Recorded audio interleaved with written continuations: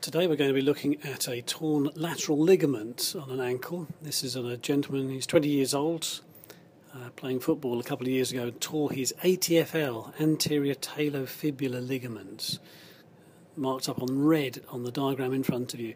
This is the ligament that connects the lower end of the fibula with the talus bone.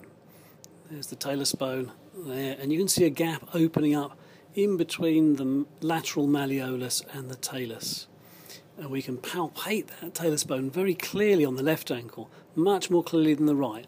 It obviously moves much further away from the lateral malleolus. So today we're going to look at it with the ultrasound scanner and see what those tissues look like on passive inversion straining in the ankle.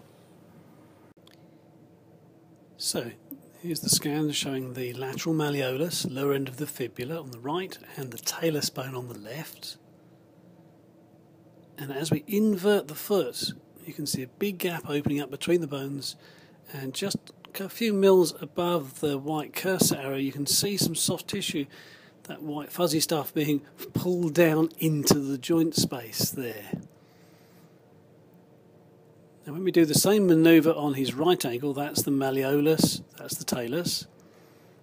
Put the same sort of inversion strain onto the foot, and you can see there's a bit of gapping there but the soft tissues above the white cursor there, they're not being pulled down into the joint as they are here on the left hand one. So you can see that those tissues are quite unstable, pulling down into the joint.